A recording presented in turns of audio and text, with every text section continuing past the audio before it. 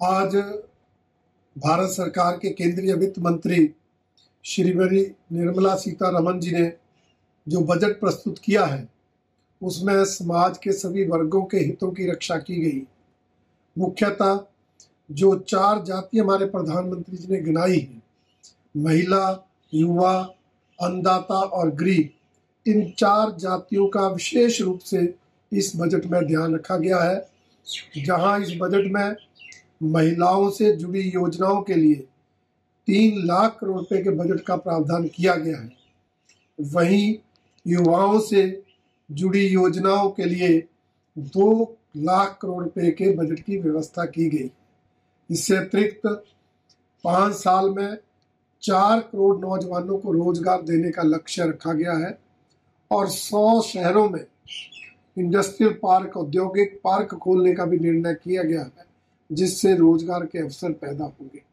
यही नहीं, इस देश के गरीब लोगों के लिए जो प्रधानमंत्री जी ने कोरोना काल में प्रधानमंत्री अन्न कल्याण योजना चलाई थी, देश के 80 करोड़ गरीब लोगों को हर माह पाँच किलो अनाज मुफ़्त देने, वो योजना आगे भी लगातार चलती रहेगी, इसका प्रावधान भी बजट में किया गया है। इसके अलावा तीन करोड़ गरीब परिवारों को प्रधानमंत्री आवास योजना के अंतर्गत आवास देने की व्यवस्था भी इस बजट में की गई है।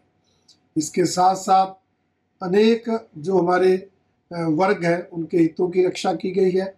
एक करोड़ किसानों को जो प्राकृतिक खेती है, उसका लाभ मिले, उसके लिए भी लक्ष्य इस बजट में रखा गया जो हमारा कर्मचारी वर्ग है, उसको इनकम टैक्स में स्टैंडर्ड रिडक्शन जो पचास हज़ार रुपये थी उसको बढ़ाकर पचहत्तर हज़ार किया गया है।